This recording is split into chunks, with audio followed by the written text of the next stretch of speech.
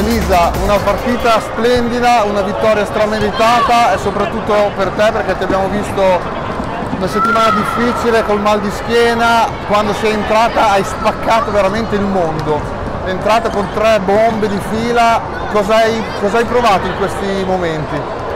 Liberazione, perché veramente le ragazze anche durante la settimana mi hanno aiutato un sacco per questo mio problema e veramente lo meritavo io ma soprattutto lo meritavamo noi per tutto il lavoro che abbiamo fatto e facciamo ogni giorno.